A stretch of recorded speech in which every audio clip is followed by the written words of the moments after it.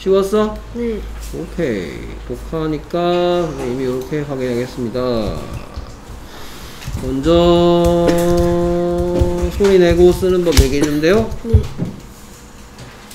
car. car 쓰는 법. C A R. Good. 그다음에 침대. bed. bed 쓰는 법. B E D. very good. 그다음에 이건 좀 어려울 텐데. 악어. Alligator. alligator 쓰는 법. A L L I G 오. A T O E I T T T O R. 와우. 대단한데?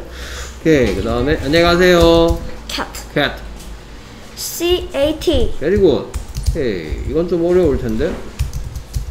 arrow. arrow.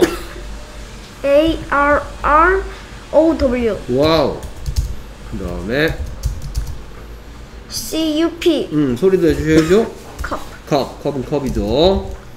그 다음, ant. ant 쓰는 법. A N T. very good. 그 다음에, bag. bag 쓰는 법. B A G. 오케이. 감기 걸렸어요? 비염. 비염이 있어서 그렇다. 오케이. 소리, bear. bear 쓰는 법. B E A R. 오케이. 그 다음, 아이고야. apple. apple 쓰는 법. A P P L E. 그렇죠. 이름하고요. bird. bird 쓰는 법. B E R E.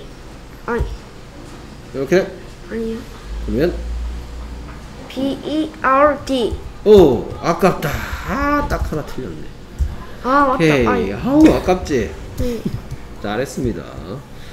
오케이. 딱 하나. 오, 처음에서 어려워 할 줄 알았는데. 딱 하나 틀렸네. 오케이. 엑소. 잘했습니다.